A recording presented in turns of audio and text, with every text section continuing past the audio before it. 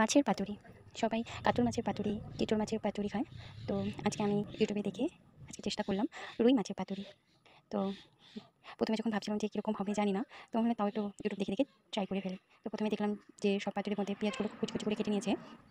আর রসুন, আদা, জিরা, হলুদ, লবণ, লঙ্কা সব একসঙ্গে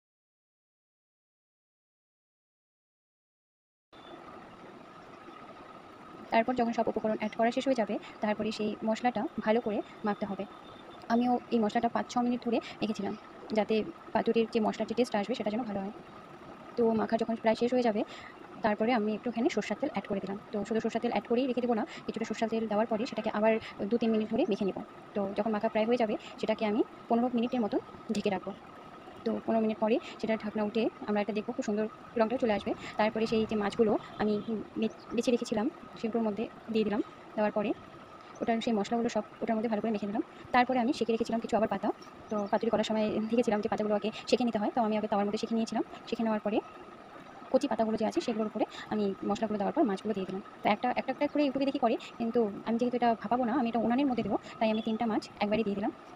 তো প্রথমবার করছিলাম বলে খুবই প্রবলেম হচ্ছিল। কী করব, কোন দিক দিয়ে বাঁধবো, না বাঁধবো, কিছু বুঝতে পারছিলাম না। তো এপাশে ফিরে যাচ্ছিল ওপাশে ফিরে যাচ্ছিল, তার জন্য অনেকগুলো পাতা অ্যাড করে দিয়েছিলাম। তো তারপরেও কিছু দিক থেকে একটু গড়গড়ে ছিল তবু ওরকম করে বেঁধে দিলাম। তো আমি জানি আমারটা হচ্ছে না, ভালো হচ্ছে না, প্রথমবার করছিলাম।